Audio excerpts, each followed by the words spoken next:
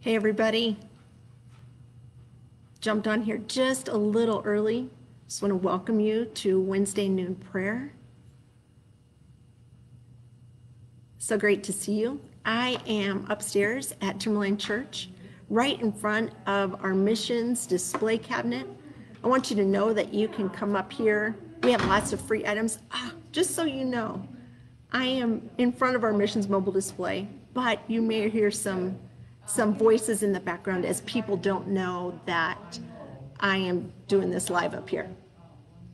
So, hey, and when you come up here, there's things for you to take for free. There's some stickers, some books. This is a prayer guide book.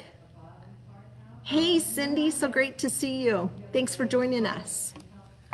Oh, and just want you to know my ba- it says my battery's running low. Oh my goodness. Never had this happen.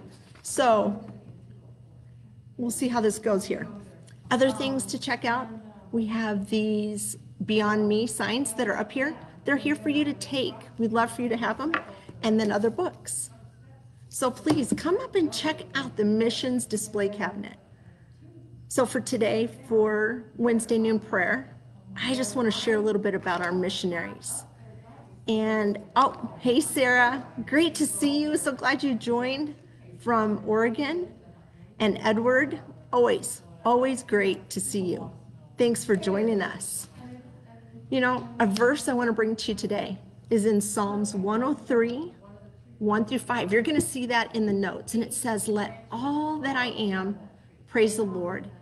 May I never forget the good things He does for me. He forgives all my sins and heals all my diseases. He redeems me from